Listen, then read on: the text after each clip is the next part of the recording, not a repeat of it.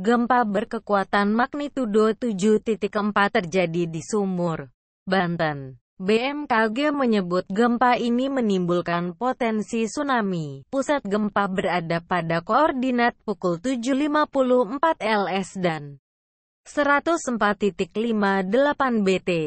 Jumat, tanggal 2 Agustus tahun 2019. Sekitar 147 km arah barat daya Sumur, Banten. Kedalaman 10 kemonsior potensi tsunami. Tulis BMKG.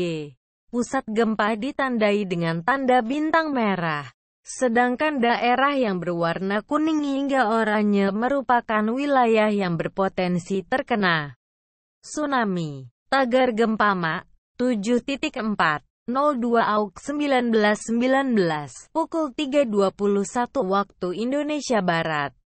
Lok pukul 7.54 LS 104.58 BT 147 km barat daya kedalaman 10 Kemonsior Potensi Tsunami UTK Teres KNPD Mesik Tagar BMKG Pik.twitter.com garis miring IJEX Dozel 98 BMKG at info BMKG August 2 2019 Simak juga, Jakarta diguncang gempa M7.4.